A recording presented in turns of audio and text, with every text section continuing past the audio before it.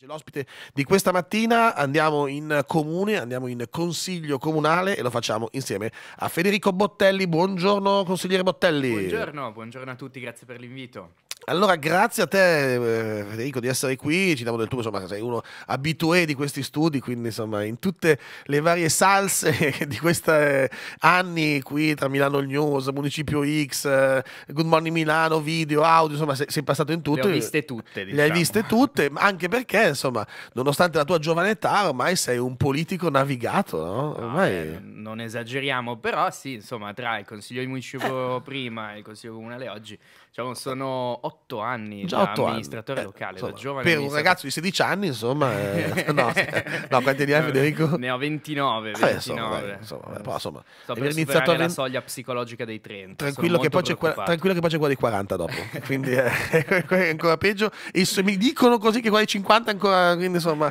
c'è sempre una soglia da superare. Eh, no, questo per dire cosa, comunque sei uno che appunto già, già a 20 anni già eri in consiglio municipale, in consiglio di municipio e eh, sei uno che insomma la cosa pubblica, la res pubblica l'hai sempre seguita con tanto passione. Sì, e devo dire che in questi anni ho imparato anche tanto perché eh, gestire la cosa pubblica non è semplice, e sono, c'è una macchina molto complessa, il Comune di Milano ha 12.000 dipendenti, quindi è una cosa quando si muove molto importante, impattante. Tra cui te, vengono contati anche i consiglieri comunali o no in questi 12.000? Sì, sì, assolutamente, ah, okay, nel, okay, assolutamente. Okay. siamo lavoratori, Siete, siamo assimilati dipendenti. Come... Assimilati dipendenti, si dice, ok, perfetto.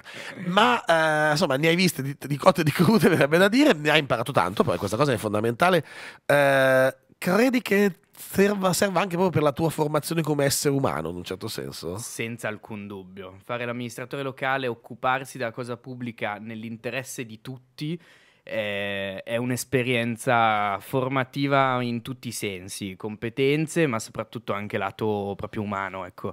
Eh, io poi in questi anni ho sempre cercato di mantenere il contatto col territorio, che poi è fondamentale perché dobbiamo dare risposte a chi poi vive nei quartieri e nella città e, e quindi essendo molto legato al Municipio 7, a questo territorio, insomma, ho sempre cercato di tornare, incontrare, girare la città, conoscere nuove realtà, che è poi quello che ti insomma, caratterizza. Una città che appunto, insomma, già il municipio 7 è praticamente un comune lombardo, no? Eh, Più o meno. 180.000 ecco, abitanti. Una città che insomma non deve essere facile, non bastano otto anni forse per, per, per scoprirla tutta, per conoscerla. No, assolutamente, infatti eh, ognuno, ogni consigliere comunale conosce un pezzettino ovviamente e ognuno si specializza come è giusto che sia su un tema a cui tiene molto. Io faccio la fortuna di fare il presidente della commissione casa in un momento in cui il tema della casa è centrale. Eh, no? Sei sicuro che sia una fortuna questa? Non so. Ma ho avuto la fortuna di sceglierlo questo ah, okay. tema, quindi comunque è colpa mia. Ecco. ok, non puoi dare la colpa a nessun altro. esatto. E, ehm, no, io penso che sicuramente il tema della casa è centrale oggi, da tempo tutti denunciano l'aumento insostenibile degli affitti e, ed è così, però penso che sia una bella sfida, no? cercare di dare delle risposte a un tema co- così complesso che magari non è neanche un tema che, eh, come dire, un comune, a cui un comune può dare da solo delle è, risposte. È difficilmente no? comprensibile come tema, perché è ovvio che noi vediamo la, la, la, la punta, il finale, no? il fatto che, ecco, non posso permettermi di comprare casa, non posso permettermi di andare in affitto, punto. Colpa piove governo ladro, cioè questo è il concetto, no? Esatto, e esatto. Invece forse un po' più complessa. È decisamente molto più complessa anche perché le esigenze poi sono più articolate, no? C'è l'esigenza di dare una risposta alla fragilità estrema attraverso le case pubbliche, c'è l'esigenza di dare una risposta ai lavoratori, adesso col piano casa eh, stiamo cercando di fare questo, c'è un'esigenza di dare una risposta di casa non in generale a chi ne ha bisogno, ma in base alle proprie esigenze, come okay. dicono tutti gli studi studi uno deve pagare un affitto che sta intorno al 30% del proprio reddito, indipendentemente dal proprio reddito. Quindi diciamo, benvengano i Ferragni che si possono permettere quella casa là. Ci mancherebbe. Non so se, eh, non so se possono più permettersi adesso, però, eh, però bisogna, bisogna, anche fare in modo che invece il buon consigliere Bottelli invece abbia insomma, una casa parametrata sullo stipendio di un consigliere comunale che sappiamo non essere miliardario. Esattamente, ovviamente partendo da quelli che hanno meno, no? Chiaro, Quindi chiaro, si chiaro. parte con la risposta pubblica, poi c'è una risposta calmierata, gli affitti insomma, fuori dal libero mercato e poi c'è il libero mercato. E lì è ancora più complesso eh, Il problema è che qui è libera giungla in questo momento, sembra, no? Il comune può fare qualcosa? Beh, un pezzettino importante lo può fare, sicuramente da solo non è risolutivo e il dato politico è che in questo momento in cui il comune sta comunque cercando di dare una risposta col piano straordinario per la casa, dove mettiamo a sistema 20 aree, andiamo a rigenerare delle aree che oggi sono cementificate costruendo alloggi calmierati e il piano prevede la costruzione di 10.000 alloggi in 10 anni, quindi una risposta molto importante. Ecco, in questo cioè, diciamo, ricerca di dare una risposta, la totale assenza di regione e, e governo è evidente su come costruire queste 10.000 case, su come gestirle, poi adesso ne parliamo di nuovo, perché poi il concetto è quello, ok, i numeri, ok, eh, dare gli spazi, ma bisogna fare in modo che poi quegli spazi siano veramente calmirati, siano veramente disponibili per quelle persone che avranno a disposizione quel tipo e quella tipologia appunto di abitazione. E so che su questo poi ne parleremo ad esempio sugli studentati, hai fatto una bella scoperta, diciamo, che hai portato poi in consiglio e si è discusso tanto, tanto, tanto. Dopo Charlie Puth, dopo Light Switch, torniamo qui con Federico Bottelli. Light Switch, Charlie Puth alle 8.21. C'è quel TH finale che, beh, devo per forza leggerlo così. Cioè, mi, mi istiga a leggerlo Charlie Puth così. Comunque, Federico Bottelli senza l'H qui con noi dal Consiglio Comunale di Milano per parlare del piano casa. Ma prima, appunto, dicevo, piano casa insomma, si, si, si, pensa di fare 10.000 appartamenti, poi calmirato, ci saranno delle convenzioni e tutto. Convenzioni che si usano spesso anche per altre situazioni, come ad esempio i studentati. Ma poi il, il buon Bottelli scopre qualcosa. Eh, si scopre che queste convenzioni alla fine non prevedono dei posti letto così tanto calmierati. Eh, un esempio che abbiamo portato un po' all'attenzione pubblica è quella dello studentato al villaggio olimpico, quindi nello scalo di Porta Romana eh, ci sono le gru che stanno costruendo il nuovo villaggio olimpico, okay. fondamentale per eh, la buona riuscita delle Olimpiadi. So, dopo le, le Olimpiadi, diciamo, quell'immobile diventerà il più grande studentato ita- in, Italia, in Italia, 1700 posti letto, una cosa abbastanza Però, importante. È una piccola città, sì, è proprio così. E la convenzione prevedeva un, una serie, l'8% di posti calmierati e altri fino ad arrivare a 1000 euro al mese a posto letto, mm, evidentemente. a posto letto? A posto letto. Cioè, non, a, a letto. non un trilocale, un bilocale, no, a posto letto. una, cioè, una, doppia 1000 adesso euro. non me ne vogliono uh, quelli, ma secondo me manco se fai la Nabola Yulm te lo puoi permettere. Cioè adesso, uh, non so, chiediamo alla nostra regista che fa Yulm. Poi glielo chiediamo. Però in Però realtà euro, in real- è impressionante, no? no cioè, è, è, un prezzo è... esageratissimo. Però evidentemente questi eh, sono del mestiere, nel senso non, non fanno prezzi fuori dal mondo. Quindi l- l- evidentemente rispetto alle informazioni che hanno, quei posti li, li riempiono. Però, For- fortunatamente, però, fortunatamente infatti, questo è, è un, diciamo, un, progetto partecipato anche da, dalle istituzioni pubbliche e siamo arrivati noi, abbiamo detto scusate ma forse 1000 euro a posto letto è un po' fuori dal mondo, siamo riusciti a intervenire, abbiamo portato i prezzi calmierati che comunque stanno intorno ai 450-435 per l'esattezza euro a posto letto, okay. che è più, decisamente più accettabile, dall'8 al 30% e comunque abbiamo... Ah cavolo, avete anche alzato notevolmente, notevolmente la percentuale. Notevolmente, in generale la media dei prezzi si è abbassata di, di molto, quindi eh, con un grande intervento, votando un ordine del giorno in Consiglio Comunale, facendo anche un bel eh.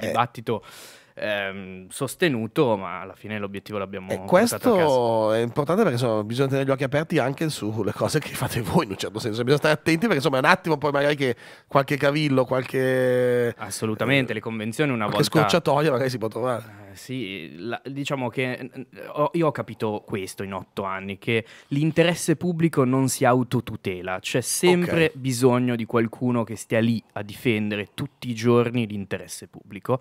E quindi l'attenzione dei consiglieri comunali che mettono i riflettori su un tema è fondamentale, consiglieri comunali come i consiglieri di municipio, le giunte di municipio, ecco, chi è lì a mettere i riflettori su un tema delicato, to- caldo e che ha la necessità di essere attenzionato per me è importante perché poi si risolvono problemini importanti. È interessante anche che ritorna almeno, almeno, questa volta centrale il ruolo del Consiglio Comunale. Dai, ce l'avete fatta. Insomma, ogni tanto insomma, siete un po' bistrattati, quindi io sono molto solidale col vostro lavoro quotidiano. Ti ringrazio, sì, ne abbiamo bisogno ogni tanto.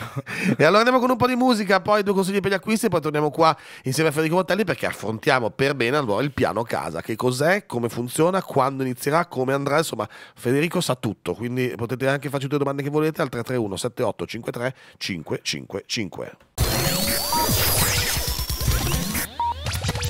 Megan Trainor con Criminals 8 e 33 minuti, Cristian Radio, Good Morning Milano, 331 7853 555 il nostro numero di Whatsapp, qui con il consigliere comunale Federico Bottelli per parlare del piano casa. Ecco, allora, il piano casa è uno di, quelle, di quei temi che fa saltare sulla sedia chiunque, quindi tu che invece lo conosci molto bene, Federico, raccontacelo perché cosa prevede questo piano casa e cos'è questo piano casa? Intanto si chiama piano straordinario per la casa. Ok, eh, già il titolo preciso. è importante. Di OCG è questa qui. Esatto.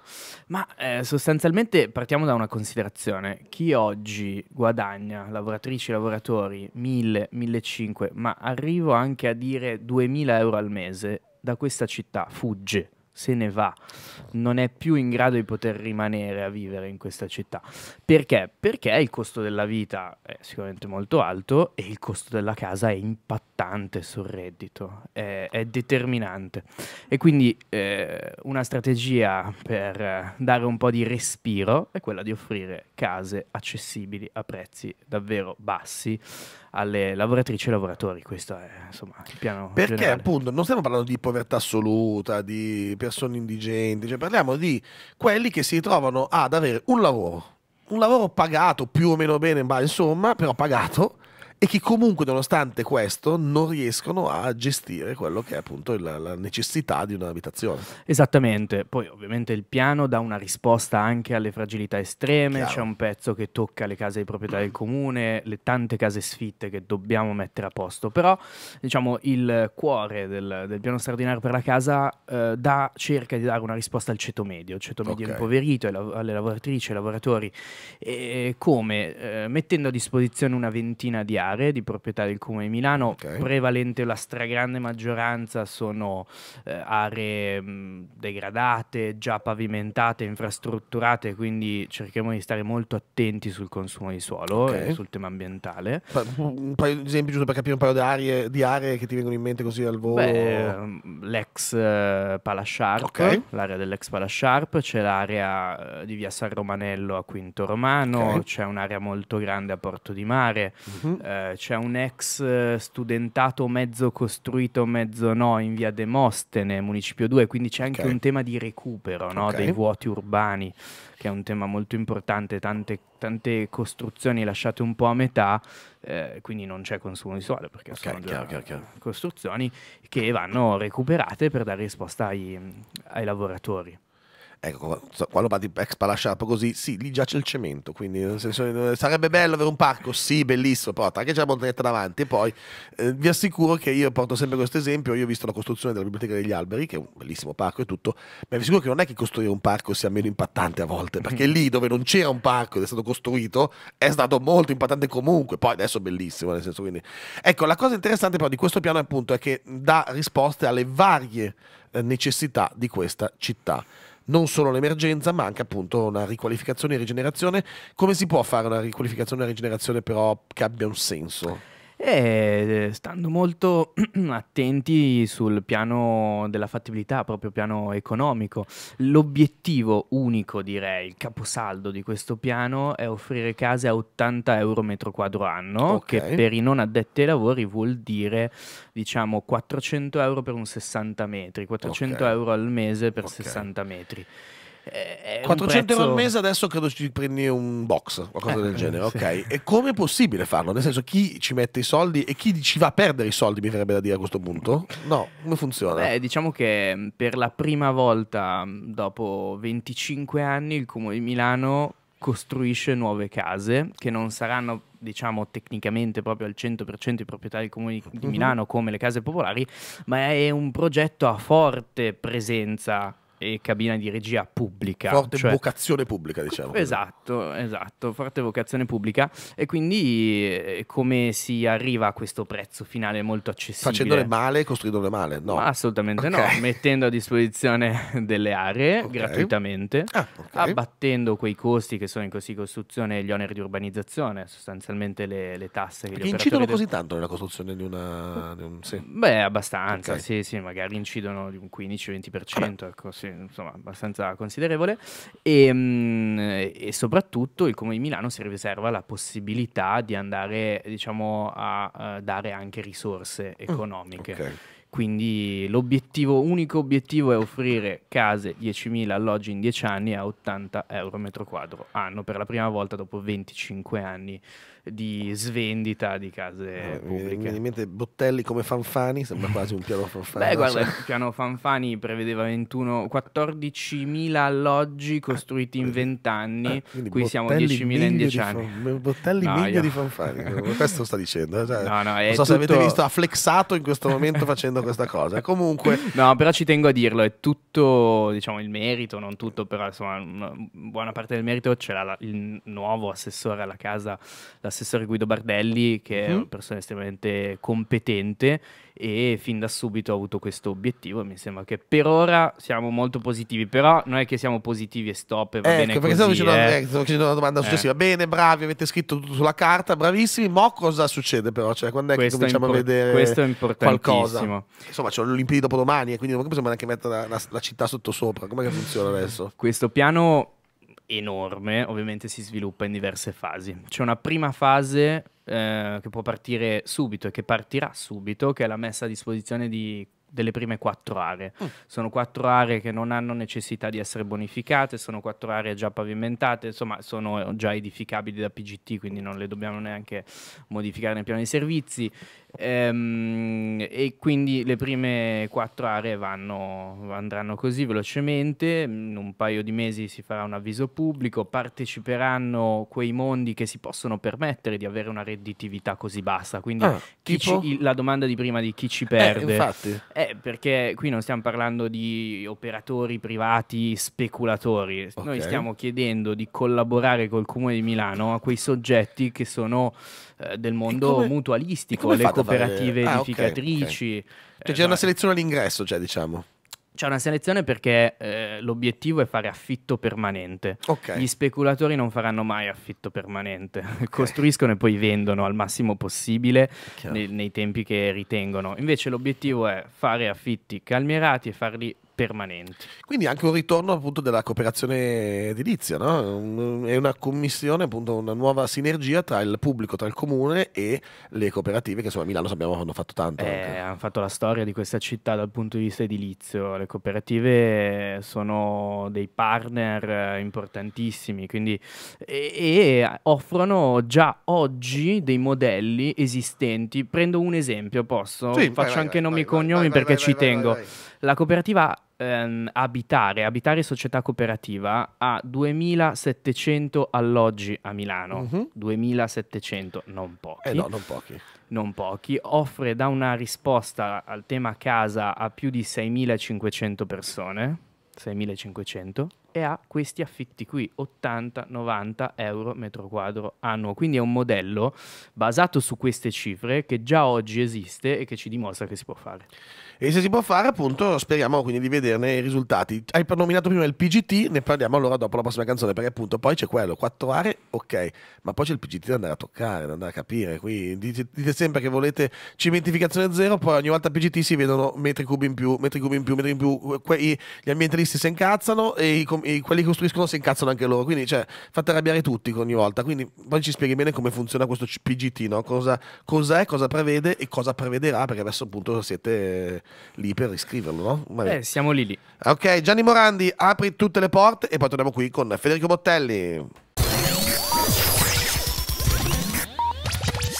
Gianni Morandi apri tutte le porte, e invece chissà quante porte, sono 10.000 gli alloggi che dovete fare, pensa 10.000 porte da aprire Federico. Aprirle tutte una a Aprirle una. tutta una a una, ci vogliono altri 10 anni, Eh, ma per fare questo piano casa, diciamo, fammi capire se è così collegato, bisognerà ovviamente anche rivedere un attimino il PGT, oppure non è così collegato? Ma fortunatamente le due cose possono andare molto in parallelo. Ah, ok. Cioè, il piano straordinario per la casa sta in piedi anche senza modifica al PGT, ma per dare una risposta all'emergenza abitativa, all'emergenza casa in questa città è fondamentale cambiare le regole del gioco.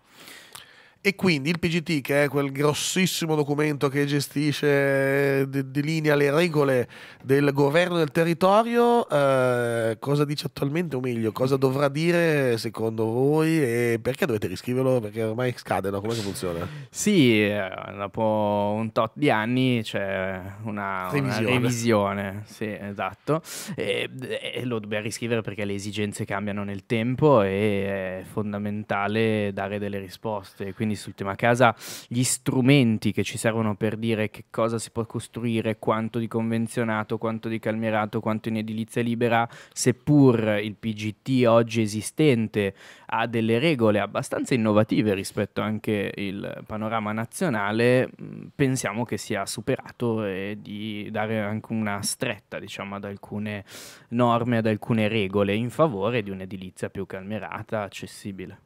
E cosa dicono i detrattori? Cosa dicono? Cos'è che non funziona questo PGT? Mm, ah, in realtà non è un tema di cosa funziona, è di quanto possiamo eh, chiedere e spingerci Eh, no, ok. nel costruire alloggi accessibili. Oggi le regole dicono che mm, per tutti gli interventi superiori ai 10.000 metri quadri eh, il 40% è obbligatorio eh, destinarlo a edilizia residenziale sociale, ad Ok. housing sociale, che se prima stavamo parlando di 80 euro metro quadro anno per il piano straordinario, qui stiamo in- tra i 110 e i 130, 140 euro Ok. metro quadro anno. Libero mercato sta a 240. eh, per- Ok, giusto per dare un- eh, un'idea. esatto, così siamo- abbiamo tutti gli stessi parametri. Quindi sicuramente un prezzo calmierato rispetto al mercato, ma mm, ah, Già un po' diciamo, spinto. già esatto, un po', un po' più sostenuto. Ehm, ecco, io penso che non sia giusto dire sopra i 10.000 metri quadri. Io penso che ogni metro quadro di questa città di nuove case, di nuovo costruito, debba comunque dare una risposta, che sia una piccola percentuale. Anche perché fammi dammi un'idea, perché io poi mi, mi arrabbio sempre quando anche i giornali scrivono 8.000 metri quadri, 10.000 io non ho di- di- qua- qua- cioè, 10.000 metri quadri, dammi un'idea, cioè cosa vuol dire più o meno, cioè co- un palazzo di, cioè non lo so, un- Ma diciamo che un condominio Eh, eh, mm, eh. Medio sta sotto i 10.000 Ah, metri ecco, quadri. ecco. Un condominio sos- grossino sta sopra i 10.000. Poi diciamo che la maggior parte delle nostre case in cui viviamo, cioè non, non nell'appartamento, cioè nel Sì, condominio in cui siamo sì, molto sì. probabilmente siamo sotto i 10.000 metri quadri. Mm, Verosimilmente sì, Eh, verosimilmente Quindi sì. insomma è veramente una piccola parte allora di quello che poi viene costruito. Sicuramente, questo è anche uno degli elementi su cui abbiamo basato questa, questa considerazione, cioè eh, il numero di progetti che sta sopra i 10.000 metri quadri è un certo numero, quelli che si concentrano tra i 5.000 e i 10.000 ad esempio Ok. sono tre volte tanto. Ok. Sono en- infinitamente di più e io penso che se uno costruisce un nuovo palazzo e vuole fare edilizia libera a 10.000 euro al metro, mm, come dire, ehm, il mercato gli può dare o meno delle risposte, questi sono, deve farsi lui i conti, ma in quei 5.000 metri quadri di 10.000 euro al metro ci devono essere almeno il 50%. 3.000 euro al metro, 3.500 euro al metro, che è l'edilizia convenzionata. Chiaro. Quali sono gli altri punti del PGT che secondo te, perché poi qui immagino che chiunque poi porterà le sue, perché poi c'è- se tu vuoi andare in una direzione ci sarà qualcun altro che vuole andare nella direzione ovviamente opposta, quindi poi bisognerà trovare la- la- la- la- la- la- la- il punto di, di contatto, ma se, se dovessi scriverlo tu proprio, cioè tu parti, questa è la prima proposta, poi che altre proposte ci metteresti dentro? Ma diciamo che fortunatamente i- la modifica del PGT è un percorso molto lungo, no? dura Sì. più di un anno, ci saranno diversi confronti, siamo solo alla primissima Chi fase che, chi, molto iniziale. che, chi è che lo si mette proprio lì al tavolo, a, cioè tu- tutti quanti? Beh, eh, diciamo che la prima proposta la, la presenta l'assessore alla rigenerazione Ok. urbana, Eh, dopodiché c'è una fase in consiglio comunale di confronto eh, ci sarà un piano quindi approvato che verrà poi sottoposto alle osservazioni di tutti. Eh. Tutti i cittadini potranno dire la loro sul piano di governo del territorio. Questo è un metodo di partecipazione secondo me molto importante, molto bello, forse unico caso su una delibera così importante. Sai già più o meno quando sarà quel momento così poi tornerai qua magari a raccontarcelo? Eh, questa, eh, ma io spero che per i primi mesi dell'anno prossimo ah. la prima fase sia conclusa in consiglio comunale, quindi poi ci sarà un annetto dove si potranno presentare delle osservazioni a parte gli operatori, i cittadini, le realtà e i comitati e, e, poi ci sarà una fase finale in consiglio comunale di adozione. Il TGT rimane solo sulla grande area oppure poi va anche magari nello specifico di alcune zone, di alcune eh, aree? Oppure... Il, il, PGT ha uno zoom molto generale okay. perché definisce alcuni parametri ma poi molto specifico. Okay. Dice qualsiasi, diciamo ogni metro quadro di questa città avrà una sua funzione, quindi eh, edificabile o meno, funziona a servizi o meno. Eh quindi arriva molto nello specifico e io oltre a fare il presidente della commissione casa faccio anche il presidente della commissione lavori pubblici e me interessa molto perché è uno strumento che ti serve anche per cambiare un po' il volto della città. Eh, io penso che Milano sia cambiata molto in questi anni, soprattutto post-Covid, anche grazie alle piazze tattiche, no? che sì. sono gli strumenti urbanistici fondamentali per poter sperimentare.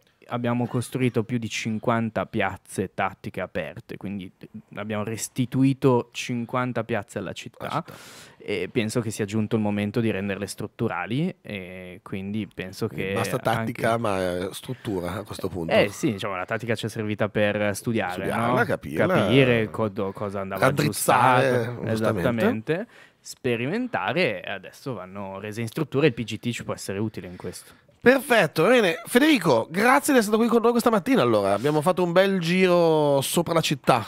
È un giro alto, ma Bello, grazie a voi per eh, l'invito. È importante appunto, seguiremo allora il piano casa, il piano straordinario per la casa appunto Bravo. e quindi Federico poi tornerai a raccontarci step by step come andranno i vari passaggi, vari... l'evoluzione di questo grande piano che insomma 10.000 alloggi in 10 anni, cioè, ve lo ripeto per farvelo entrare bene in testa perché è davvero davvero qualcosa di molto molto molto interessante. Grazie mille Federico Bottelli. Grazie Fabio. Andiamo ancora con una canzone e poi torniamo qui per i saluti finali.